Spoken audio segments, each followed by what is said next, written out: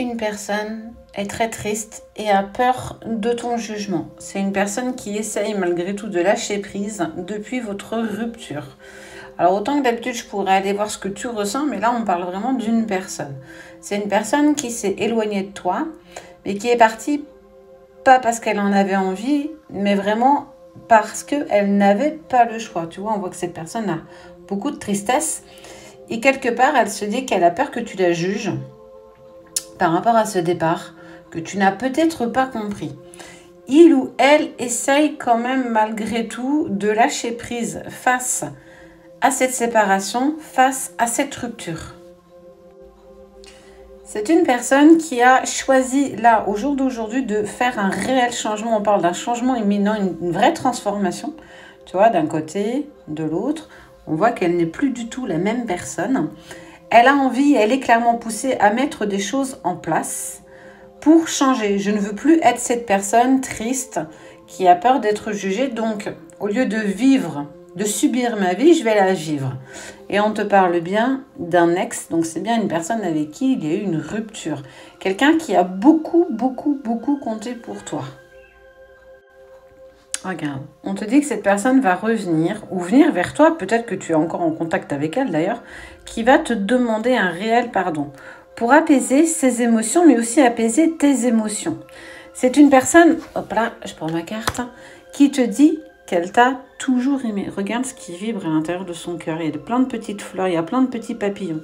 Tu la transcendes vraiment de toutes parts. Effectivement, il a fallu que cette personne sorte de ta vie. Pour ces raisons, pour les siennes. Tu les as peut-être pas toutes, mais en tout cas, ce qui est sûr, c'est que cette personne, elle a eu besoin de sortir de ta vie. Elle sait que de toute façon, tu as jugé, que tu as eu beaucoup de colère et que cette rupture a été cassante, aussi bien pour toi que pour lui. Il a essayé ou elle a essayé de lâcher prise, mais malgré tout, elle n'a pas réussi. Parce que même si aujourd'hui cette personne est un ex, on voit bien que ces émotions sont bien toujours en avant, tu vois. Apaisement des émotions, j'ai besoin de te demander pardon. Parce que je t'aime toujours, je t'aime malgré tout, je t'aime malgré le fait qu'on se soit séparés. Et cette personne aujourd'hui, elle a envie d'atteindre son propre bonheur. Et elle a clairement compris que son bonheur ne dépendait pas que de lui, mais aussi dépendait beaucoup de toi. Ce qui est sûr, alors on est le 27, donc il reste quelques jours, 5 tu vas avoir des nouvelles de cette personne assez rapidement. On te parle du mois en cours. En tout cas, c'est une personne avec qui la rupture a été pour elle aussi brutale. Ça te permet de savoir à peu près de qui je peux parler. Mais ce qui est sûr, c'est que vous avez un lien et qu'il y a toujours eu de l'amour entre vous malgré cette rupture, malgré cette séparation, malgré ce que la vie vous a fait vivre et qu'il a essayé de lâcher prise, il a essayé de t'oublier mais qu'aujourd'hui, il se met en, avant que pour lui, ce n'est clairement pas possible. Donc, il est en train de se transformer, il est en train de changer, il devient une meilleure version de lui-même.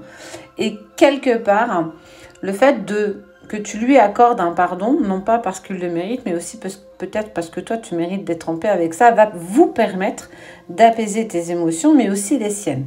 Ce qui est sûr, c'est que cette personne, elle veut le bonheur avec toi à ses côtés. Parce qu'il y a toujours de l'amour. Et on te parle de quelque chose qui est sur le mois en cours.